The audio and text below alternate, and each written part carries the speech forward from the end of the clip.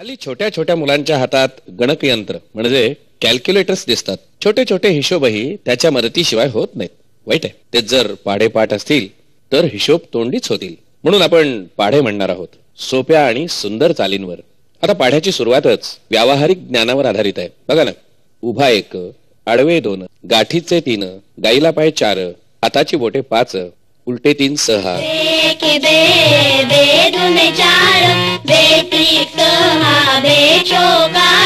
बे दहा बे सख बारा बे साती चौदा बे आठी सोळा. सव्वीस सत्तावीस अठ्ठावीस एकोणतीस हे चार पाडे म्हणजे चार भयंकर राक्षस वाटतात. तर एक आयडिया आहे. विसाचा पाढा पाठ होतोच. आणि बे ते दहा पाढे तर सोपे असतात पाठ होतात. आता बघा सत्तावीस अठ्ठे. असं म्हणलं की विसा अठ्ठे साठासे आणि साठे आठी छप्पन. एकशे साठ अधिक छप्पन. याची बेरीज दोनशे सोळा म्हणजे सोळीन दोन.